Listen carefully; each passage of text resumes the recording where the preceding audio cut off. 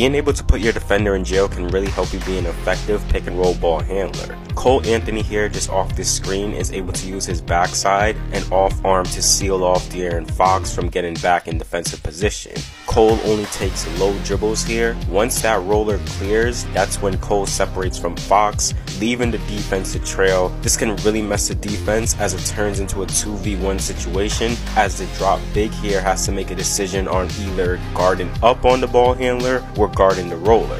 If the big guard's up closer on Cole, the pass inside to the roller should be open, but if the defensive big is in drop coverage, the floater is an option to go to as Cole Anthony does here.